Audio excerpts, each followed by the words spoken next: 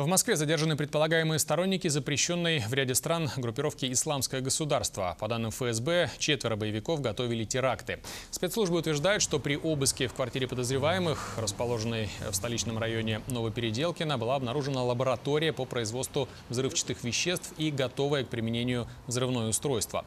ФСБ заявляет, что члены группировки планировали нападение на объекты транспортной инфраструктуры Москвы. Уточняется, что среди задержанных есть граждане России и стран Центрально-Азиатского региона. Вот что рассказали жильцы дома, где сегодня проходили оперативно-поисковые мероприятия. Я живу на первом этаже, поэтому я выглянула, смотрю, люди бегают. Я не поняла сначала, к чему это. Потом смотрю, резко побежали в щитовую, отключили свет.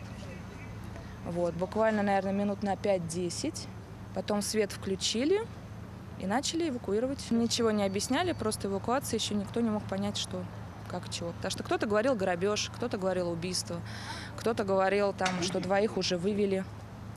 Поэтому потом уже всплыло, что вроде как бомба. Когда кинологи уже были, собаки. Наверное, года три точно они живут здесь. Только я не знаю, меняются они, не меняются они там, эти, не эти. Но они года три точно уже. Я один раз по- полюбопытствовала, спросила у женщины, которая туда входила, я говорю, здесь купили квартиру или снимаете? Она говорит, купили. Конечно, это вряд ли они купили. Потому что там и двое, и трое заходили, и так, ну, много народу было там. А вам они показались подозрительными? Ну, в принципе, нет, они все любезные всегда.